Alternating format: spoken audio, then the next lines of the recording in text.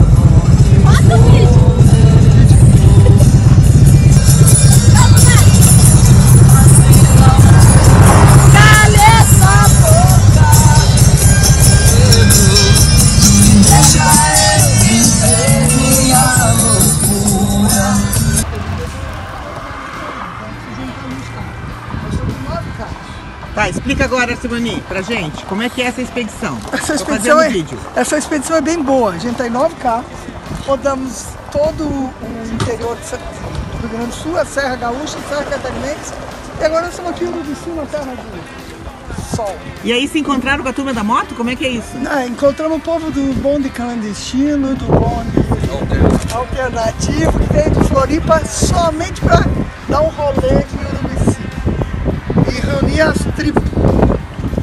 As tribos juntas as fazem tribos mais festa. Todas né? juntas. É isso que nós queremos. legal, boa. Tá, boa. vou terminar aqui só mostrando a Xandãozinha lá, a linda, maravilhosa. Ah, tá. ah, ela subiu, ela tá atrás da de bota ah, de tá plástico. Tá vai mostrar ali onde é que tá a geladeira? A geladeira tá ali, ó. A geladeira tá ali, ó, ó, ó, ó tudo que a gente precisa e mais um monte de outras coisas. Vamos passear de jipe. E vamos passear de jipe.